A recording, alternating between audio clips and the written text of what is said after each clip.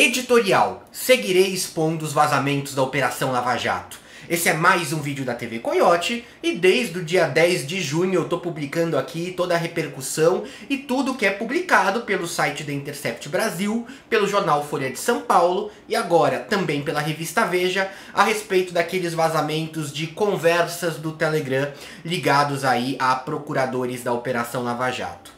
E muita gente vem criticando intensamente essa minha cobertura, principalmente alegando que as mensagens não seriam verídicas e principalmente também de que elas seriam oriundas aí de uma atividade legal, né, de um possível hackeamento ou de qualquer forma de um vazamento. Com relação à ilegalidade, eu já transpareci claramente aqui a minha posição. Não importa se foi um hacker, não importa se foi um infiltrado, não importa se foi um participante da força-tarefa que se arrependeu e resolveu expor tudo que ele tinha de mensagem. Nos três casos, você tem uma, é, uma constatação de ilegalidade. Mensagens de WhatsApp não podem ser utilizadas dessa forma, sem que para isso você tenha um processo é, judicial que quebre o sigilo, para incriminar ou para atacar alguém no, no meio judiciário. É, isso não é permitido, isso não foi permitido pelo STJ já em várias decisões que o Superior Tribunal de Justiça tomou. Ao mesmo tempo, sendo um ataque hacker, claramente se configuraria como uma atividade legal por parte de quem conseguiu captar todas essas mensagens. E do outro lado, sendo algum infiltrado, ele também não tem direito de realizar essa quebra de privacidade, mesmo ele sendo um dos participantes da conversa.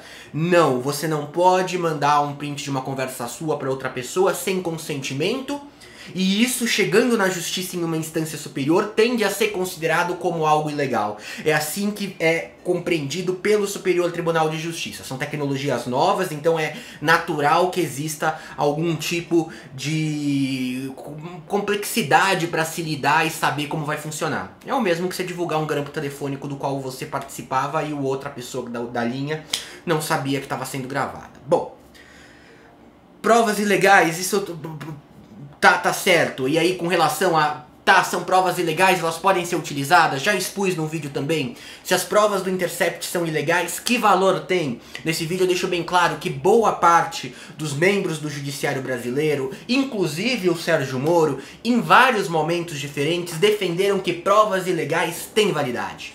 Elas continuam sendo ilegais, mas quando elas são utilizadas, por exemplo, para garantir a presunção de inocência, elas valem. Então, isso é um entendimento mais geral, mas não é o único entendimento e é sim um tema bastante polêmico. Então, gente, quando eu digo que as provas são ilegais, primeiramente, eu não estou dizendo que elas não são úteis, não são importantes e que não podem, por exemplo, aí anular processos da Lava Jato. Não estou dizendo isso. Estou dizendo que, na essência, são. Segundo, a ilegalidade é por parte da pessoa que obteve essas mensagens, não pela que divulgou.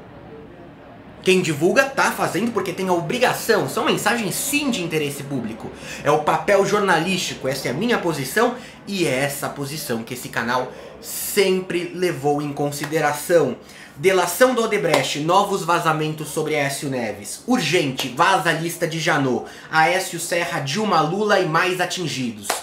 Futuro da Dilma depende do Google. Vazamento Odebrecht. Instituto Lula teria recebido 4 milhões da Odebrecht, diz delator.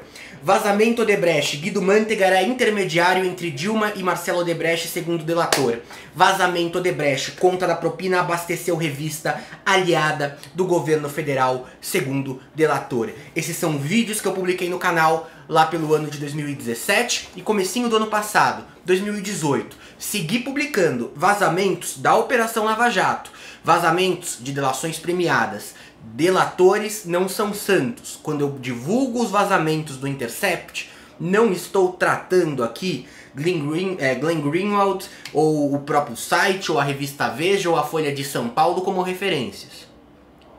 Estou expondo as informações que eles transmitiram como expus as informações que os delatores transmitiram e foram vazadas.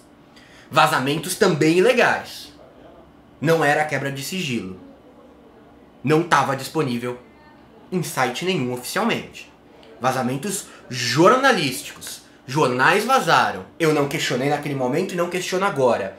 E considero muito importante a divulgação. E aí entra a condicional. Segundo o Intercept, segundo a revista Veja, segundo a Folha de São Paulo, dados obtidos pelo Intercept, pela revista Veja, pela Folha de São Paulo, segundo o delator, como disse o delator, essa condicional ela se mantém porque esse canal tem uma prioridade. Uma coisa que falta muito hoje em dia, que é a garantia da presunção de inocência.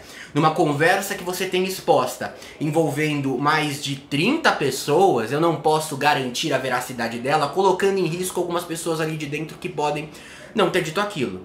A condicional segue e ela só é derrubada no geral aqui, como era no caso dos vazamentos da Lava Jato, quando os próprios envolvidos confirmam a participação. Senão ela se mantém e fica a cargo do espectador interpretar se a coisa é real, se a coisa não é real. É obrigação eu expor.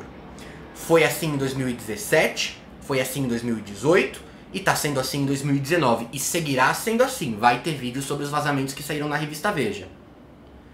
Algumas pessoas também estão questionando a relevância jornalística disso tudo. Não tem nada demais nos diálogos, tudo mais sem entrar neste mérito, a relevância é tanta que o ministro da Justiça participou de duas sessões de horas na Câmara dos Deputados. Que esse é o assunto hoje mais conversado e discutido entre os membros do Supremo Tribunal Federal, entre os membros do Congresso Nacional e internamente dentro do governo é um fato político relevante, a exposição desses vazamentos, ela é relevante. Não significa dar carta branca dizer que com certeza tudo é verdadeiro, não significa que eu estou dizendo que quem forneceu esses vazamentos para o grande público é ou não uma pessoa bacana. E aí nem importa a minha posição pessoal referente a isso. Tão óbvio não importa como eu expus aí ah, duas totalmente contraditórias Vazamento Odebrecht. Instituto Lula teria recebido 4 milhões segundo o delator. Então, é, tô seguindo o padrão que eu sempre segui aqui. Tem vídeos antigos do canal dos quais eu me arrependo. Esses não. Esses vídeos eu mantenho a mesma posição, a mesma postura e vou seguir dessa forma doa quem doer. É isso, gente. Um grande abraço. Lembra que você pode colaborar com o canal virando membro. Para isso basta você clicar em seja membro aqui embaixo e até a próxima.